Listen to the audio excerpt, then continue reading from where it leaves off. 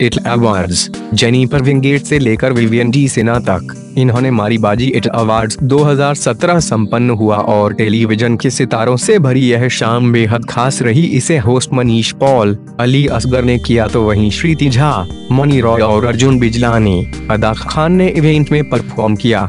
नागिन actors Mouni Roy, Arjun Bijlani Ishqbaaz actor Kunal Jai Singh Nakul Mehta Shrenu Pareek Surabhi Chandana और मानसी श्रीवास्तव। ये रिश्ता क्या कहलाता है कि स्टार्स कांची सिंह, रोहन मेहरा के अलावा अविका गौड़ विवियन डी सेना, किश्वर मर्जेंट एकता कपूर, स्मृति ईरानी फरा खान सहित कई स्टार्स इस इवेंट में शामिल हुए। आईटी अवार्ड्स का दर्शक बेसब्री से इंतज़ार कर रहे थे ताकि वो जान पाए कि टेलीविज़न की दुनिया में किस स्टार ने बाजी मारी है। नीरुषा निखत को चंद्रकांता के लिए बेस्ट कॉस्ट्यूम का अवार्ड मिला। जेने फरविंगेट को आई टी 2017 में बेस्ट एक्ट्रेस के खिताब से नवाजा गया है।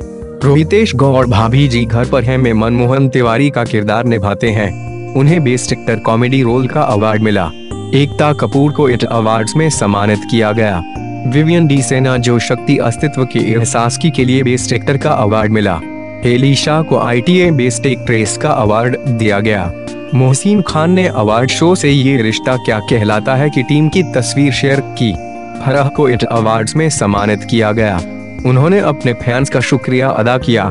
स्मृति ईरानी ने अपनी एक तस्वीर शेयर करते हुए इत का धन्यवाद दिया कि उनके काम को सराहा गया।